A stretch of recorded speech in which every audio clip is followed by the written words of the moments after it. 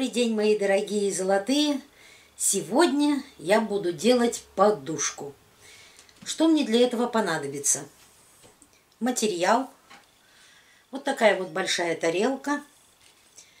Карандаш, ножницы, линейка и вот такой вот синтетический наполнитель для подушки. Я ничего не буду комбинировать, других цветов.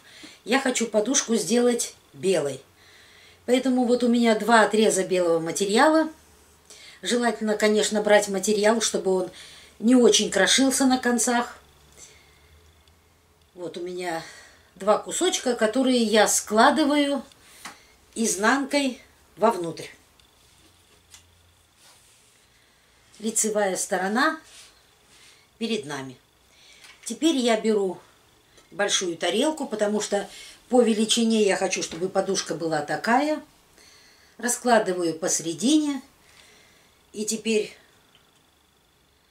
карандашом, так как это правая сторона, а начертить мне все равно надо, то такими небольшими штришками я обвожу мою тарелку.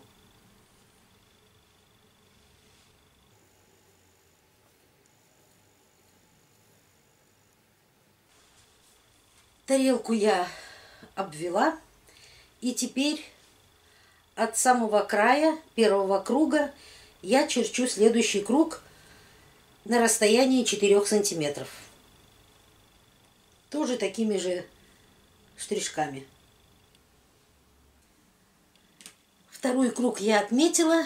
Теперь я убираю тарелку.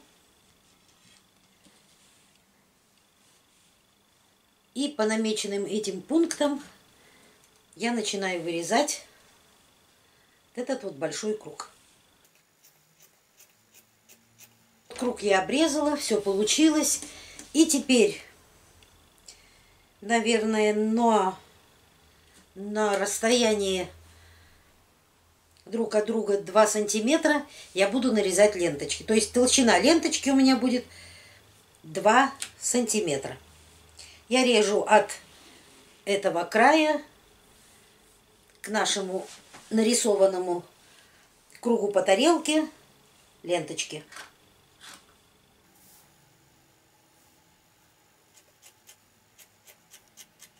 Ленточки длиной 4 сантиметра и шириной 2 сантиметра готовы. Что мы делаем теперь? Берем ленточку верхнего круга, ленточку нижнего круга и завязываем узелок. Первый узелок желательно завязать потуже, тогда расстояние вот эти вот эти вот дырочки, они будут поменьше. Я завязала ленточки, но не все. Оставила здесь 10 сантиметров. И, конечно, ленточки можно делать и подлиннее. Ну вот я захотела так. И сейчас я подушку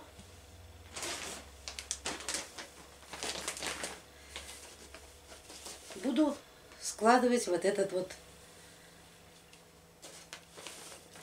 синтетический материал.